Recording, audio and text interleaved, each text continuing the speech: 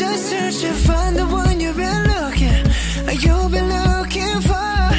I wish I would have known that wasn't me.